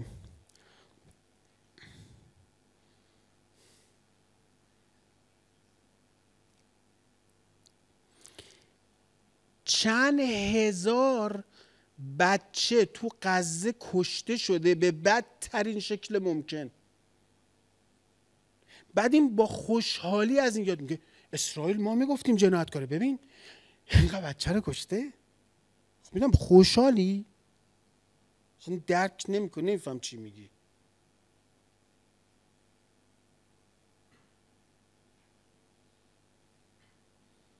بعد نه تلاش کنی این اتفاق نیفته دیگه؟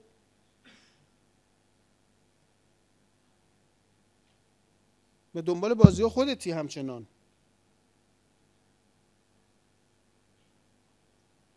می طرف نشسته با کت شلوار اینجوری همجوری لم هم داده با کت شلوار. من مردم. بعد دیدم که جماعت بابا برو جمع کن خودتو پسر جون. باشه برو توهماتتو فیلم علمی تخیلی زیاد نگاه نکن. والا فیلم علمی تخیلی همینجوری تعریف نمی‌کنم نه من مردم به کتفم هم نیست چی پشم پشم بود همه چی. نشستی انگار داری قصه حسین کرد شبستایی تعریف می‌کنی. نه هرسی نه جوشی نه حالی نه گولی نه هیچی. یارو اومده میگه ما رفته بودیم آفریقا یه توری رفته بودیم. بعد اونجا من بالا این اتوبوس که چیز نه افتادم وسط شیرا.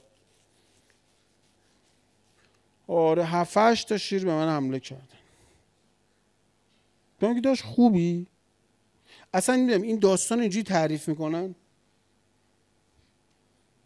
شما یه سوسک میره زیر پاد یه جوری میپره بالا جیغ می‌زنی فریاد می‌زنی. بعد می‌خوای تعریف کنی آه یه سوسک بود آه اندازه کف دست. اصلا اینجوری اومد. این چه طرز داستان تعریف کردن شیر دنبالت کرده یه جوری داری میگه شیر پاستوریزه مثلا پنج دقیقه خوردی؟ حالش کو؟ حالت کو؟ حالت کو؟ از جنایت ناراحتی کو؟ تو چهرت چیزی نمی‌بینم. نه ناراحتی نه اخمی نه به من میگن شما خیلی عصبی صحبت می‌کنی فلان. گفتم والا من داستان تعریف نمی‌کنم اونجا. قصه نمیگیم. هرس می‌خوریم دهمونم خوش میشه حرف می‌زنیم. چون حرف داریم می‌زنیم. من برام سوال شما چرا اینقدر ریلکسید؟ این ریلکسی شما آرامش شما این, این عجیبه برا من. رفتم چند وقت پیش پیش یکی از مسئولین اتفاقی البته خیلی اتفاقی دیدمشون. بعد داشتم با هرس و جوش و اینا می‌گفتم آقا وضعیت اقتصادی اینه مردم اینجوری اینجوری و دیدم گفت وای زنگ اینجوری گفت چای بیار برای حاج آقا.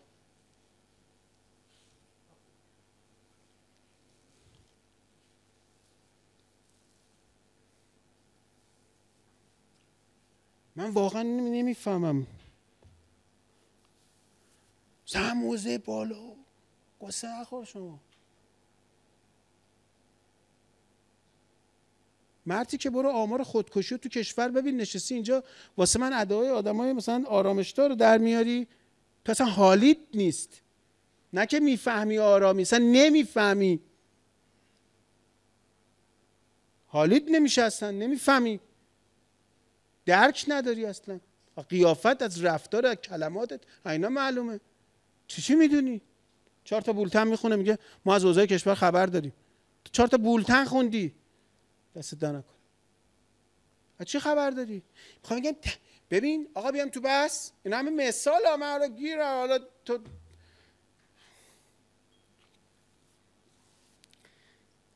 اصل قصه چیه؟ تو قرآن میگه ان علینا للهدا خدا میگه بابا اصلا هدایت یه داستانیه که فهمشو نداری اصلا بتونی بفهمیش. که چه مکانیزمی ریختم تو این جهان. که تازه اگه بفهمیش می‌فهمی اصلا کار تو نیست. تو اصلا ظرفیتشو نداری. تو خودت در پروسه هدایتی یعنی خودت مهره که چیدم اونجا دارم داستان هدایت رو پیش می‌برم باش. تو چی میگی؟ چه ادعایی داری؟ اصلا چی میگی تو برای خودت؟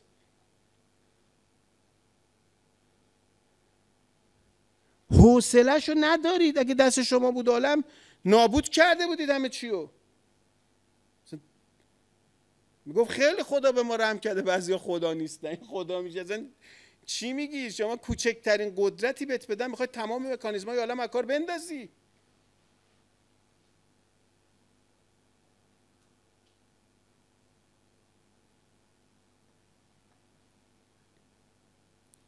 ببین این حرفا که زدم معنیش این نیست که ول کن همه چی رو ها. نه طلا هستی افتادی تو لجن بعد از اون لجنه بیای بیرون خودتو بشوری چون تو طلایی ولی بفهم طلایی. من میگم اگه فهمیدیم سنگی نگران نباش. چون این تو این صفحه شطرنج تو هم تو جای خودت کار طلا رو می‌کنی. مثل این بچه معتاده که باعث سلامت محل ما شده. ولی وقتی به فهم معتاده خودش میشه طلا. میگه ببین چه مکانیزم خوبی چیدم. که تش همه چیز به یه جای خوبی ختم میشه. تو که تش نمی‌دونی. خب خب باشه. تو فعلا خودتو بشناس. اصلا خودتو بشناس. تو طلایی یا سنگی. که بفهمی اصلا تو این مسیر چیکار داری می‌کنی؟ اصلا بفهمی کجا وایسادی. طلا افتاده تو لجن. بوگند میاد دیگه میگه من که لجنم. بابا تو طلایی تو لجن نیستی. تو تو لجن افتادی ولی لجن نیستی. تو داری کار بدی می‌کنی ولی آدم بدی نیستی. باید بیرون از این. متوجه نیست دیگه چی؟ حواسش پرته. تو اینو باید متوجه بشی که کجایی؟ سنگی یا طلایی؟ طلایی هستی که افتادی تو لجن یا سنگی هستی که نشوندن رو تاج؟ حالا رو تاج نسسی فکر نکنی خبریه. این قدیمی هستن این داشمشتی ها قدیم شعرهای کوچه باقی میخوندن. می‌گفت من از رویدن خار سر دیفال دانستم که ناکس کس نمیگردد از این بالا نشینی ها داداش خاری ها والا پشتمون در اومدی ولی خاری حواست باشه. ولی وقتی بفهمی خاری گل میدی متوجه نیستی. متا بالا نشستی میگه ما که سرف جلو ما لنگ بندازیم. اصلا تو چی میگی؟ تو چی میگی؟ بعد مقابلش می‌گفت من از افتادن نرگس به روی خاک دانستم که کس ناکس نمیگردد از این افتان و خیزان ها بابا یکی خورد زمین فکر نکن تمومه. آقا این با ارزشه. الناس معادن که معادن ذهب و الفضه. معدن طلا نباشه معدن نقره است. معادن طلا و نقره است. چون کلمه دیگه ای چی؟ می‌خواد بگه معدن نفته. خب نفت نبوده که بگه. اون موقع مهمترین چیز برای مردم طلا و نقره بوده. گفته طلا و نقره. بگه معدن اورانیومه. این کلمه رو بگیر. بعض طلا و نقره نیست. می‌خواد بگه بابا اصلا این ارزشش خیلی بالاست. یعنی ارزش تو خیلی بالاست. بله افتادی تو اعتیاد. ولی ببین ربطی نداره ها. طلا میفته تو مزبله. طلایی که افتادی تو زباله. تو زباله نیستی. بعد ما میگیم تر گذاشتیم برای مبارزه با ارازل و باش. قرآن میگه جهنمی ها به هم میگن پس اون ارازل و باش کوشن. میگه خب عراض رو باش نبودن. شما اشتباه فکر می‌کردین.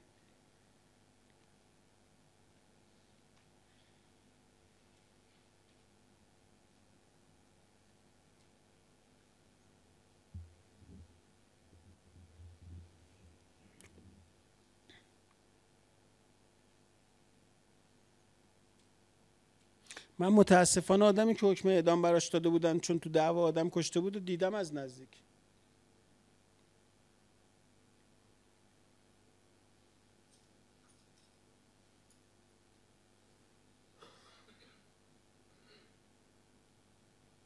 چون اصلا دوست ندارم چه انسانی رو تو اون جو ببینم تو اون فضا که اختیار جونش رو دادن دست یه سری آدمی که حتی حرف نمی‌تونی باشون بزنی. من رفتم رضایت بگیرم داداش یارو با چوب اومده بیرون. داداش مختول با چوب. شلوار شیش, خشتک. با چوب. اومده بود آبجیش هم فش ناموس می‌داد به ما. گفتم من اخویتون که من نکشتم می‌دونی که؟ من اومدم باتون صحبت کنم. گفت نه خود اومدی فلان کنی چوب بهش گفتم پسر جون اون کسی الان زندان زیر تیقه اگه عقلش کشته بود این چوب و غلاف کرده بود الان من نیومدم به تو التماس بکنم به خاطر اون. چوبتو بذار کنار. چی فکر می‌کنی با خودت؟ خواهرم فوش ناموس.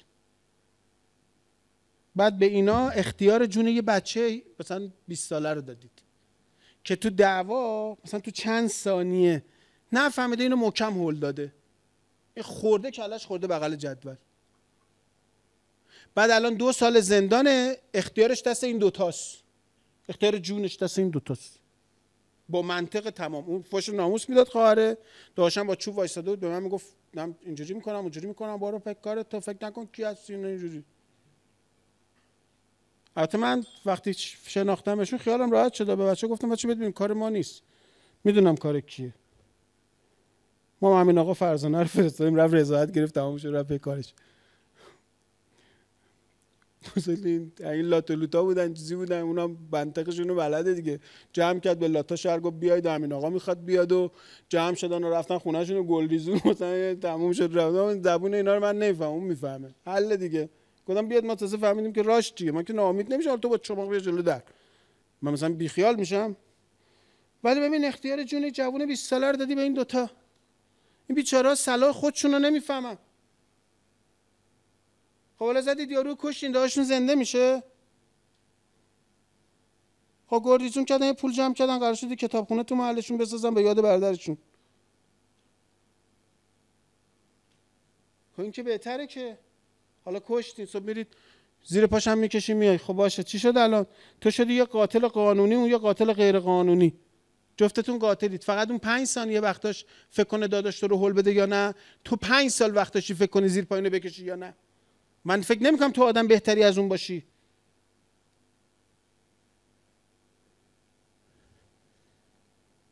آقا اگه بگم به حال یک اعدامی قبطه می‌خورم به حالی که داشت چیز بدی گفتم؟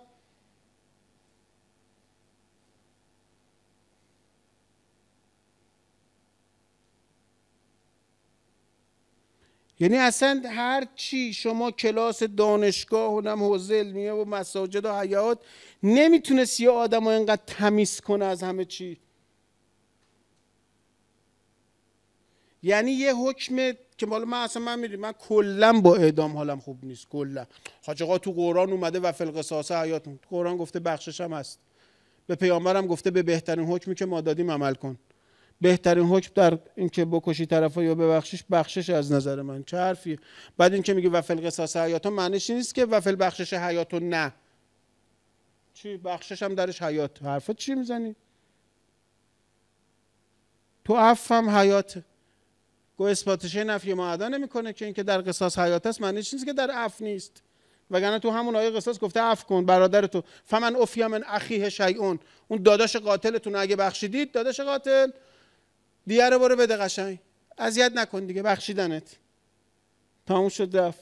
تو اونم حیاته تو اون بخشش هم حیات. تازه اینکه برای کدوم جامعه قصاص حیاته راجع به اینم تازه میشه حرف زد. من کلا حالا با قصص خیلی حال نمی‌کنم با این قسم رو هزار تا راه بهتر است که تربیت بشه. منم نمیگم. بله من میرم رضایت می‌گیرم. صبح قاتل مثلا دو سال معمولا دو سه سال تو دیگه تا حکمشون برسه و اینا. بعد وقتی ما میریم رضایت می‌گیریم اون جنبه عمومی حکمم گذرونده آزادش می‌کنم. بعد میگم داداش این اصلا روش کار فکری کردید اینو؟ دادید به یه روانشناس به ببینید اصلا این چشه. شاید اصلا روان پزشک نیاز داره. چرا آدم کشته؟ چرا چاقو کشیده؟ چرا هل داده؟ چرا سنگو زده؟ این بعد می‌رفت درمان می‌شد میومد بیرون ها؟ درمان نشده؟ یا فقط گرفتید حبسش کردید؟ درمانش نکردید چون می‌خواستید اعدامش کنید؟ گفتی خرجش نکنیم دیگه.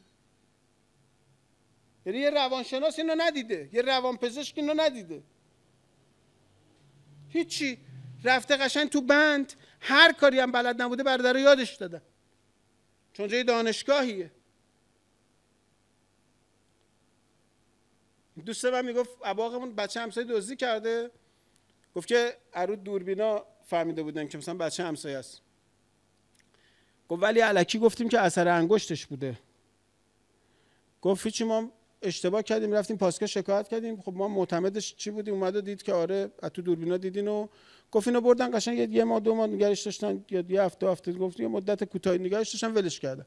گفت دوباره اومده دزدی تو ویلای ما. گفت فقط جذاب که این هر کجا میره میاد جا دستشو پاک می‌کنه. فکر کرده بود وزاره اثر انگشتش بوده. گفت جا پاک می‌کرد. به من گفت الان چیکار کنم؟ گفتم چی؟ بفرستش اونجا بفهمه که دوربین بوده. دفعه بعد یه جورابم بکشه رو سرش بیاد. خب درمانش که نمی‌کنن اونجا. میرن یادش میدم. یا چجوری گیر افتادی؟ اثر انگشت. میگم پاک کن جاشو. گفت بیا فیلمو ببین. انقدر باحال تو پنجره میاد تو اینو بعد قشنگ با دقت جا دستشو پاک می‌کنه با یه دست ما یک بساتی جیمز باد اومده دزدی. رفته دانشگاه. بچه من نمیگم آزادش کن من میگم درمانش کن. وقت بذار براش. درمان شد. دکتر آقا این برای جامعه ضرری نداره بفرمایید. یا نه اینو آزادش کنید. ولی آقا هفته یه بار بعد پاشی بیا پیش روانشناست بشینه صحبت کنه. تو رو بالاخره بگرده ببینه تو ذهن اون خشونته چیزی مونده نمونده مونده تمیز کنه. خاک و گل گرفتی پاکت کنه تمیزت کنه. حمام آدمی نیست که ببری تو همون بشوریش نه. اون چیزایی که درونی گرفتارمون می‌کنه بعضی وقتا همومش طولانیه. ده سال طول می‌کشه تمیز شه متهی بره یکی لیفش بزنه. ببخشید شما چرا برای همین مورد مثلا یک قتل شخصی یک نفر یک نفر رو کشته؟ منم با تو موافقم میگم که خب بعد درمانش کرد. درمانش هم شاید زمان ببره. اما مثلا حالا مشکل اسرائیل اونم نظر من که باید درمان شد اگه نظرتون اینه بله با من نظر یه نکته دیگه هم ببخشید. یعنی من با اعدام نتانیاهو موافق نیستم. با درمانش موافق. خب ولی خیلی تو کشور ما من با خیلی نیستم درسته درسته. میگم که یه تفکری هست. الان ما نسل اینا رو می‌بینیم. داداشون تفکره این بچه هم میگه ادامش کن. بابا ما پول جمع کردیم زندانی آزاد کردیم. طرف برگشته میگه شما دارید یه مش مجرم آزاد می‌کنید. میگم کسی که برای ده میلیون تومن پول تو زندانه مجرمه. دزدی هم نکرده. ماشین این امانت گرفته بره جای اشتباه کرده تصادف کرده پول نداشته خسارت رو بده.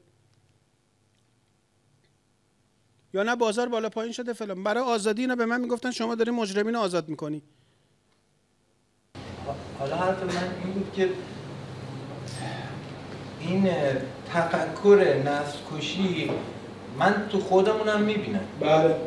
یعنی همون جوری که تو جنگ جهانی دوم برعکس بود یهودی ها رو میکشتن من می‌بینم و حالا نمی‌خوام بگم حالا حماس این کارو کرد ولی اون یه چشمه بود که نشون داد الان اون تفکره اون پنداره. اون پنداره تو ما هست. اگر شاید آب گیرمون بیاد ما بله. همون کارو با اونا بکنیم. بله. بله همینه. من نگفتم این تاریکه یعنی من روشنم. مفهومش این نیست نه.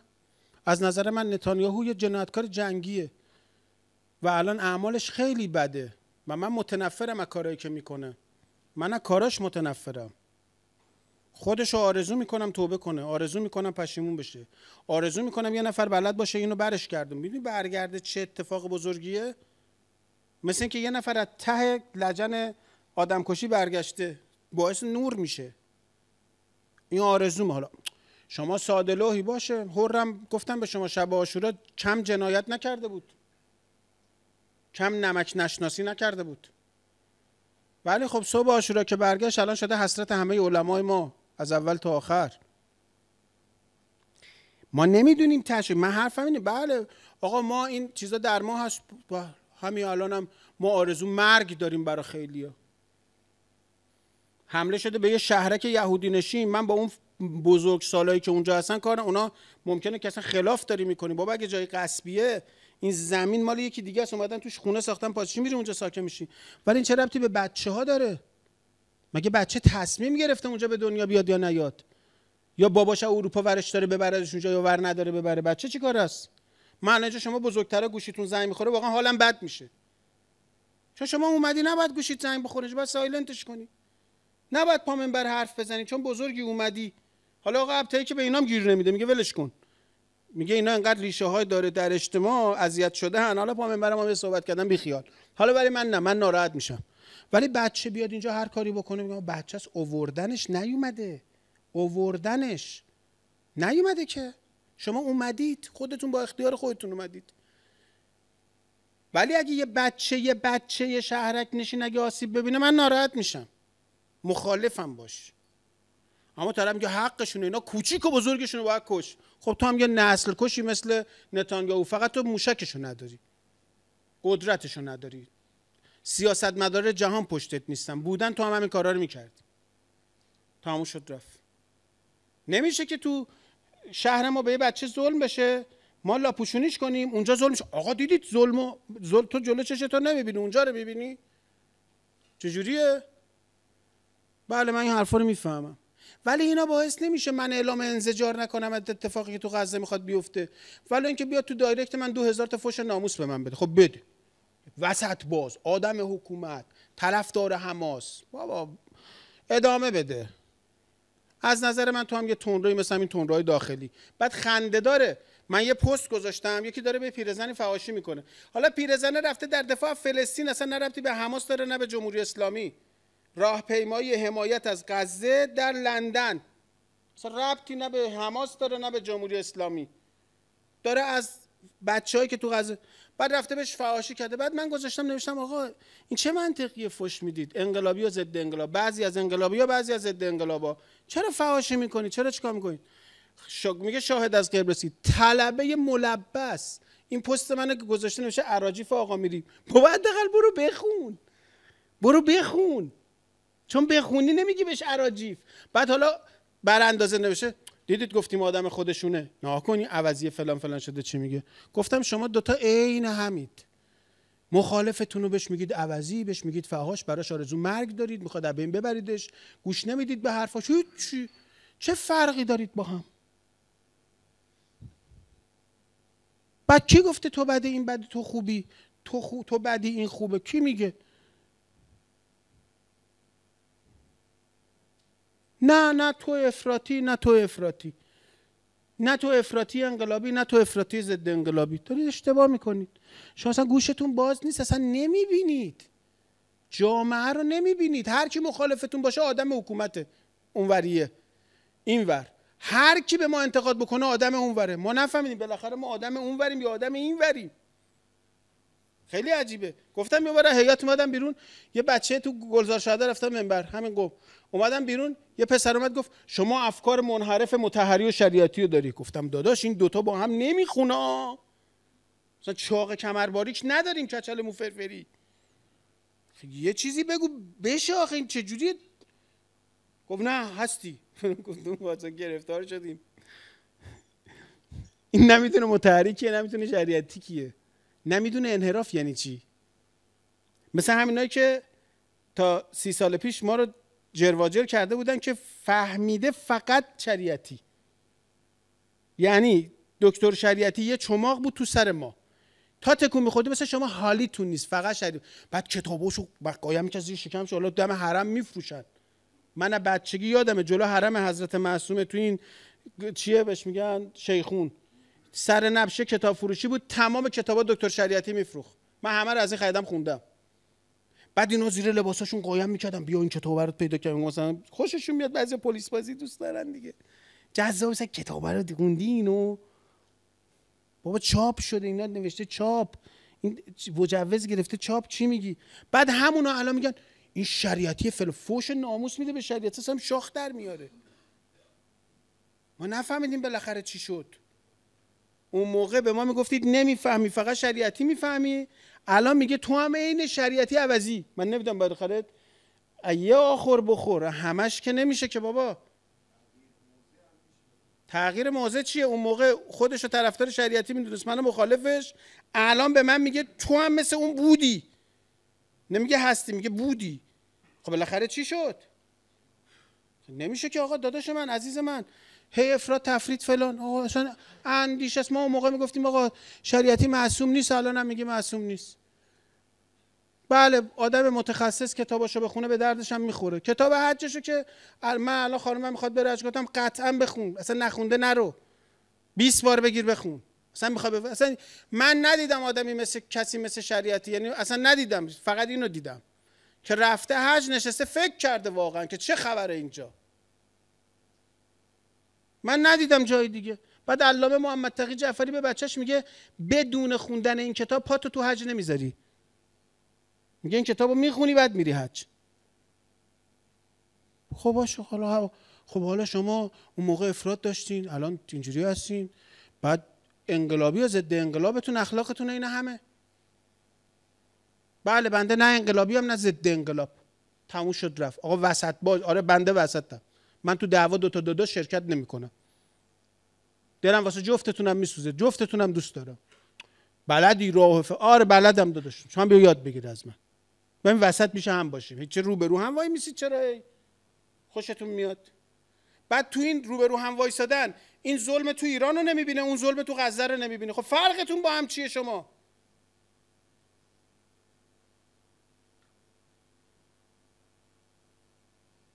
الان فرقتون چیه؟ حب و بغض کورت کرده نمی‌بینی ظلمو. تو داخل تو خارج. فرقتون چیه؟ بعد حال توقع داری من طرفدار؟ نه من طرفدار هیچ کدوم تو نیستم. من کلا طرفدار هیچ کی نیستم.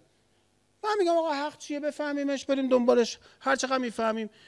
آقا شما قبلا اینجوری گفتی حالا اینجوری میگی. من فردا صبح ممکنه یه چیز دیگه بگم. وقتی بفهمم حق اشتباه می‌کردم تو الان خب برمیگم دیوونم ادامه بدم. ما یه جا رفته بودیم آقا سخنرانی داشتیم این راننده خواست مثلا بگه من از Waze بهتر بلدم. یه جا پیچید اشتباه رفت. وقتم نباید دیدی که مثلا time سخنرانی مثلا میگه آقا نیم ساعته. ده تا دهانی بیا صحبت کن. بعد اشتباه رفت. بهش گفتم داداش داری اشتباه میری نه نه نه همینجا الان میپیچم اینجا. آقا رفتیم دیگه. دیدید که مثلا تو تهران یه جا اشتباه میری تا بخوای دور بزنی برگردی یه, یه ساعت شده. دیگه نمی‌رسیدیم. معلوم بود نمی‌رسیم. بعد مثلا شرق ما داشتیم رفتیم غرب. بهش گفتم داداش نمی‌رسیم. نه نه بذار گفتم آقا اصلا گاز نزن نمی‌خوام برم منبر. آقا تموم شد. نه ببین ده و نیمه ده تا ده و نیم بود تموم شد. طرفم دو هزار تا فش فرستاده تا دو دقیقه بهش می‌گفت حضرت حجت الاسلام الان ما شدیم نمی‌دونم مرتی کی فلان. گفتم بریم یه کافه بشینیم یه چایی بخوریم با مقدمات و مؤخراتش. گفتم بیا بریم بلش کن گاز نده بیا بریم. اشتباه رفتی هی هم داری گاز میدی؟ خب من وقتی میفهم اشتباه کردم وای میسم برمیگردم. گاز نمیدم. هی به گاز بدیم ما ما ما این مسیر یک اشتباه رفتیم آقا مسیر اشتباهه. باشه گاز بدم؟ بعد من میگه شما چرا گاز نمیدی؟ من می‌خوام برگردم. گاز میدی؟ دیوونم مگه اشتباه برم؟ فهمیدم اشتباهه. من خواستم برم شرق دارم میرم غرب. خب برمیگردم.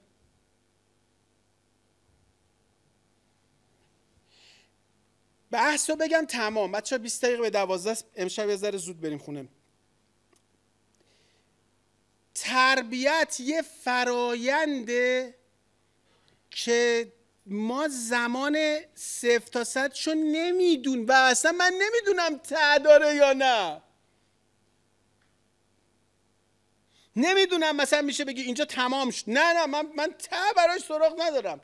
ولی میشه فهمیدش که ببین این افتان و خیزان شدن من از افتادن نرگس به روی خاک دانستم که کس ناکس نمیگردد از این افتان و خیزان ها افتادن داره انسان میفته انسان برای بمب اتم کف می‌زنه. ذوق می‌کنه. نمی‌فهمه چی شده. تا بیان یه فیلمی بسازم بگم ببین چی شد. اون وقت که داره کف می‌زنه برای این جنایت از نظر من دیگه کارش تموم نیست. بگم اینا دیگه کارشون اینا دیگه بوی از انسانی. تمام. نه نه. تمام ندادیم.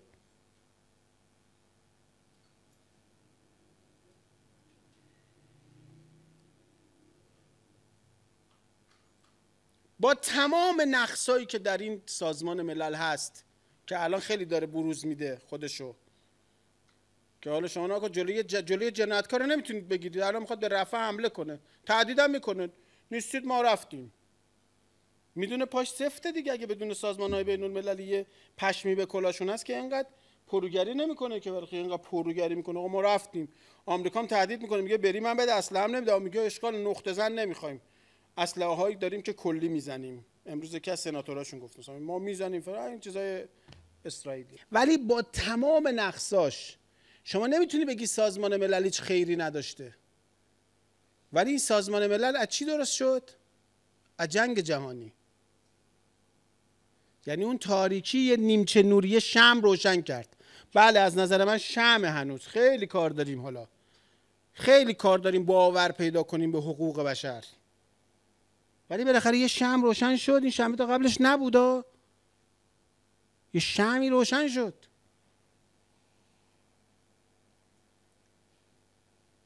حالا به جای اینکه اینو هی گسترشش بدیم آقا یه شم اصلا فایده نداره. بابا تو یه شم هم روشن کنی. تو همین شمه رو نمی‌تونستی روشن کنی. ارزش نداشتی. یه شمی روشن شده.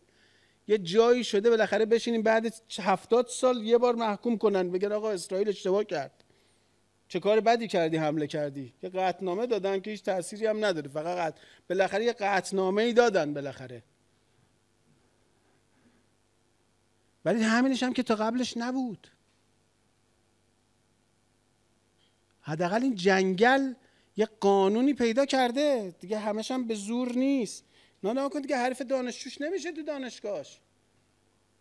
دانشجو میاد وسط میگه ما آدمیم بابا جون دیگه قرار نیست سر غلطی بکنیم من سکوت کنم. نه خیر جنایتکاری شما دارید جنایت می‌کنید.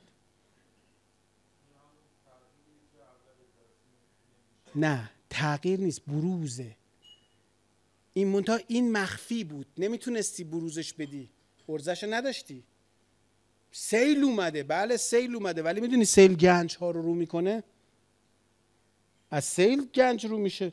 خب روش میگه میگه بابا جون یه همچی گنجی در اومده. بابا ببینید جوونا بابا همه شما می‌گفتید تو این دانشگاه های فاسد آمریکا و اروپا چه خبره؟ چه آدم تربیت میشه توش. ایناش. ببین نظرتون رو عوض کنید. چون الان هم همه از چی رؤسای دانشگاه های ایران گفتن بفرستیم بیان پیش ما درس بخونن. خب گشت ارشاد نمی‌ذاره به دانشگاه شما برسن بیچاره. شما مقدمات ندارید. چون این دختره که اونجا معترضه بخواد بیاد دانشگاه شما همون جلو در دانشگاه حراست میگیردش. میگه شهوا برو پات کن. این یه پیرن هم اینجوری رو سریت اونجا زن شهوار گشاد هم حتی گیر میدن. تو فیلمه به دخترم گفت خیلی گشاده شهوارت گفت اصلا نمی‌دونم با شما تنظیم می‌کنیم دفعه بعد. حالا اینکه یه چیز اکت سیاسی اصلا من حالا خوشم هم نمیاد. مثلا بازی دروغ نگید بازی در نه شما اصلا ارزه پذیرش اینا رو ندارید تحملش رو ندارید. ولی آقا انسانیت رو دیدین؟ دارید می‌بینید؟ استاد فلسفه دانشگاه تو آمریکا پروفسور یه خانم پروفسور میره دفاع کنه از دو می‌زنن زمین دستاشو پشت میبندن فلان پشیمون نیست. هی هم میگه من پروفسورم میدی داری چیکار می‌کنی؟ پلیس هم مثلا حالیش نمیشه داره اینو آقا شما این صحنه پلیسیشو می‌بینید چون سیاسیه میگه پلیس وحشی آمریکا رو دیدی. آخه من پلیس رو چیکار استاد فلسفه رو دیدی؟ پروفسور فلسفه رو دیدی؟ چرا اینو نمی‌بینی؟ این زیبایی رو نمی‌بینی؟ اون زشتیه رو فقط می‌بینی؟ این زیبایی که این دختر پسر رو تو دانشگاه جمع شدن برای مظلوم. بعد میگه محرومتون می‌کنیم از درس. اصلا اقامتاتون رو باطل می‌کنیم چون همشون که آمریکایی نیستن استریشون چیزن یعنی چیز تحصیلی بورس تحصیلی دارن. بورسیتون رو قطع می‌کنیم. با بعد اروپا آمریکا زندگی کرده باشی بدونی این چه تهدید بزرگیه. بعد وای میسته طرف. این همه زیبایی دیدید. یه ذره نظرتون رو راجع به جهان عوض کنید. از دانشگاه شما که بخاری بلند نشد. ببین چیکار کردی با جوونه. چون الان به خودشون نمی‌گیرن. به خودتون بگیرید.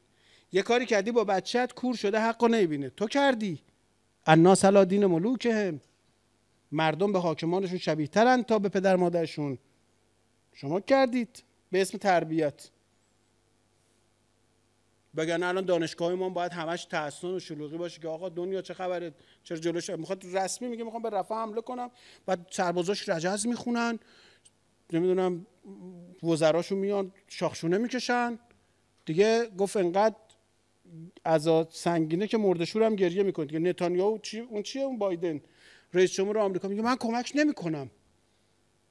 اگه حمله کنیم میگه نه ما حمله می‌کنیم. فلان. یعنی قشنگ میگه جهان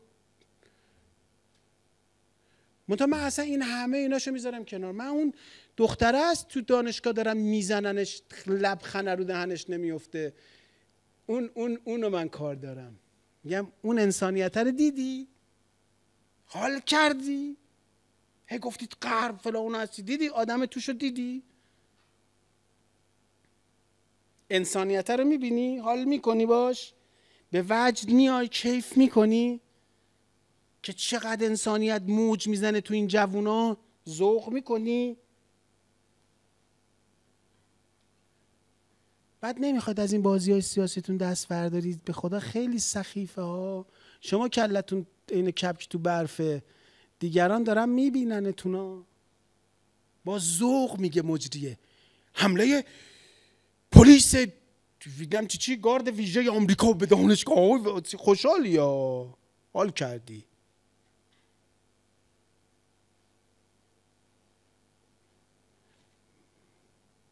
حیف. از اون همه موج انسانیت عشق کن. که اون شمع سازمان ملل و اینا یه حالی بهش میدن. یه آتش بزرگتری درست می‌کنن که نور بیشتری ایجاد بکنه. همینا همینا همینا که تو اروپا تو آمریکا تو استرالیا تو کانادا راهپیمایی کرده همینا همینا این کارو می‌کنن. فکر کردی؟ ولی ما از این معادله بیرونی متاسفانه.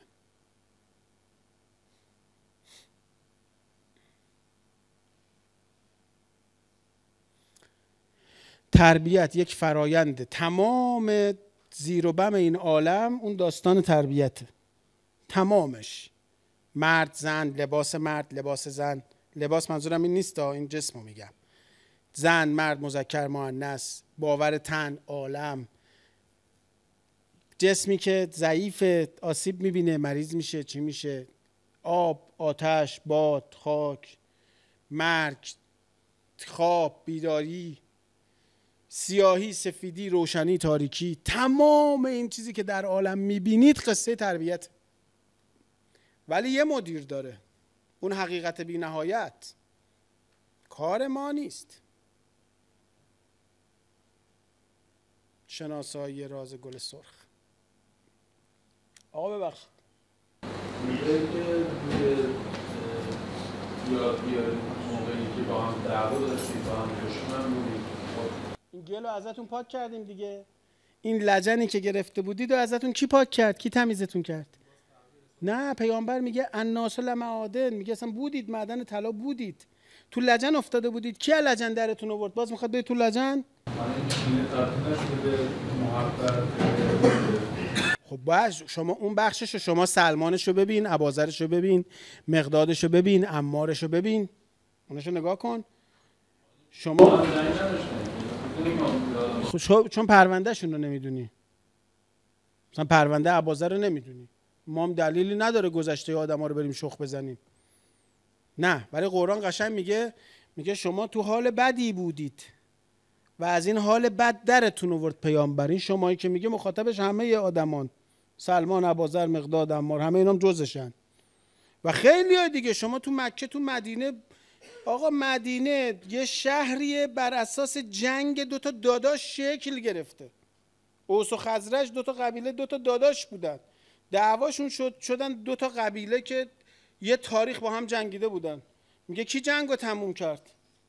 کی این لجن جنگ از صورتاتون پاک کرد؟ جنگ طلبا چجوری صلح طلب شدید؟ چون تو اصلا جنگ طلب نبودی. تو که افتاده بودی تو کسافت. من همون کسافت درت آوردم. بعد تمیزت کردم. باز بر نگرد تو اون کسافت دیگه. بچگی نکن. از تو لجن در تو بودم خب می‌خواد بپره دوره تو لجن. طرف داشت فرار می‌کرد. بهش گفت کجا میری؟ گفت پیغمبر کشته شد. گفت حال پیغمبر مرد. خدا که هست. یعنی چی؟ چون پیغمبر بود آقا بود این پیغمبر بود بپریم تو لجن ها. اه. مرد حسابی. لجن درمون آورد. حالا مرد که مرد قرار نیست ما برگردیم تو لجن که.